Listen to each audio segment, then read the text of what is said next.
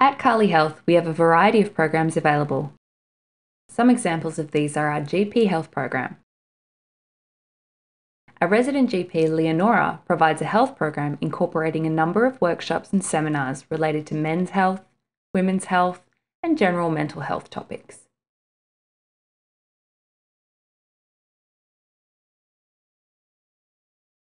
Deaf Bushwalking Victoria. This group meets approximately six times a year in different locations throughout metropolitan and regional Victoria and is free and open for anyone to join. This group is led by a deaf man, Simon Anderson.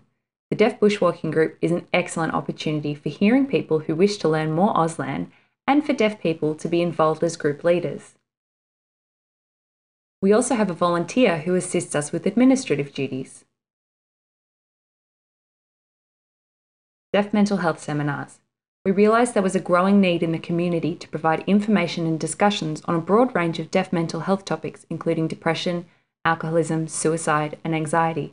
As there was nothing established, we have set up regular seminars where a deaf guest is invited to speak on a particular topic, or on occasion, a hearing professional that has experience working with deaf people. Volunteers. We have recently set up a volunteer program where we welcome volunteers to assist in different aspects of the running of the business. This can include administrative, interpreting, or assisting in the running of the yoga classes.